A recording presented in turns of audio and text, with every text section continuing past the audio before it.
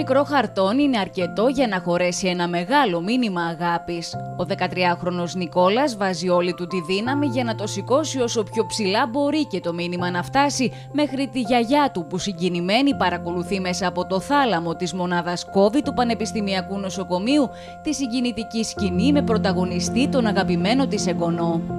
Συγκινήθηκε πάρα πολύ, έκλαιγε, φώναζε και εγώ σας αγαπάω και εσείς μου λείπετε και θα γίνω γρήγορα καλά για σας. Στα πέτρινα χρόνια του κορονοϊού ήταν ο μόνος τρόπος για να βρεθούν στο πλευρό της και τα κατάφεραν. Η 65χρονη γυναίκα έπειτα από οκταήμερη καραντίνα μαζί με τον επίσης θετικό στον ιό σύζυγό της εκδήλωσε σημάδια επιδείνωσης και χρειάστηκε να εισαχθεί στο παγνί με οξύ αναπνευστικό. Με καταρακωμένη την ψυχολογία της η οικογένειά της κατάφερε να της στείλει ένα δυνατό μήνυμα αγάπης. Δεν είχαμε τρόπο να το κάνουμε από κοντά και έτσι σκεφτήκαμε αυτό τον τρόπο να μας δει έστω από μακριά, να της δείξουμε πόσο την αγαπάμε και να την ενθαρρύνουμε.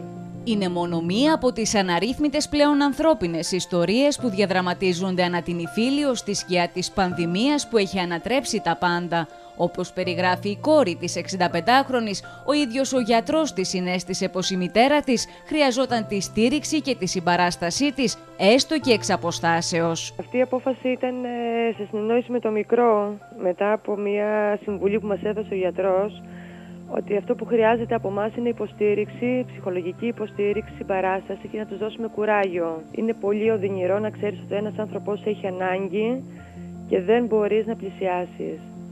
Είναι πολύ επιπονό, τουλάχιστον για μένα και πιστεύω και για όλο τον κόσμο που έχει περάσει παρόμοια κατάσταση, ότι είναι πάρα πολύ σκληρό. Είναι πάρα πολύ σκληρό. Το βίντεο με τον μικρό Νικόλα αναρτήθηκε σε μέσο κοινωνικής δικτύωσης από τη μητέρα του με ένα και μόνο στόχο. Να δώσει δύναμη και κουράγιο και να στείλει το μήνυμα πως ο κορονοϊός που είναι εδώ δεν μπορεί να στιγματίζει όσους νοσούν.